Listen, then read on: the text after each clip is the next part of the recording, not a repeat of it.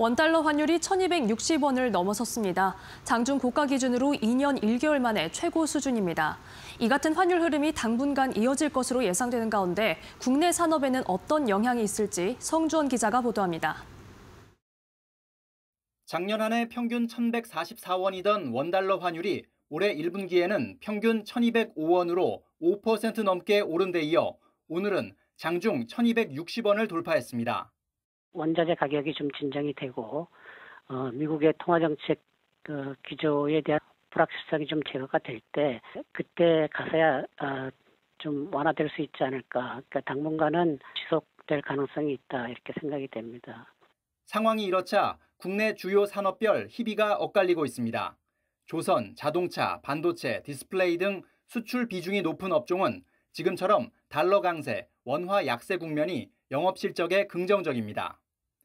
한국신용평가에 따르면 지난해와 동일한 상황에서 원달러 환율만 1,200원으로 달랐다고 가정할 경우 이들 업종의 영업이익률이 1에서 3%포인트 이상 개선되는 것으로 분석됐습니다.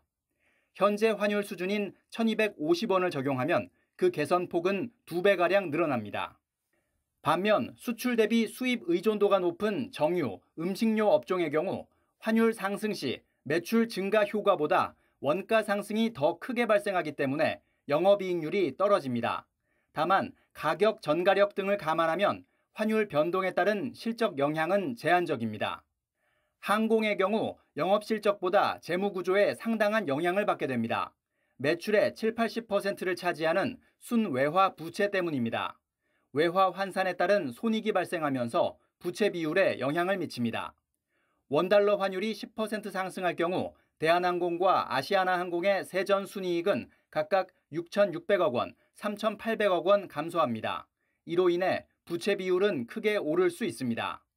현대중공업과 삼성중공업 등 환율 민감도가 높은 조선사들은 선도 계약 등을 통해 외환 리스크를 관리하고 있습니다. 최근 환율 변동성 확대에 따라 수익성 영향도 커지고 있는 만큼 개별 기업들의 보다 적극적인 환해지 전략 수립이 필요해 보입니다. 이데일리 TV 성주원입니다.